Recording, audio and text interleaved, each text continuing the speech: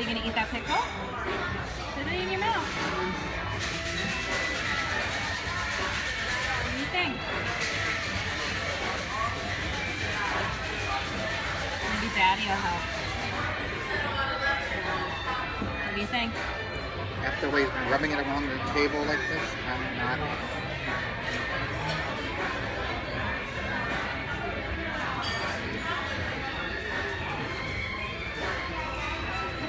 Though. Try a bite.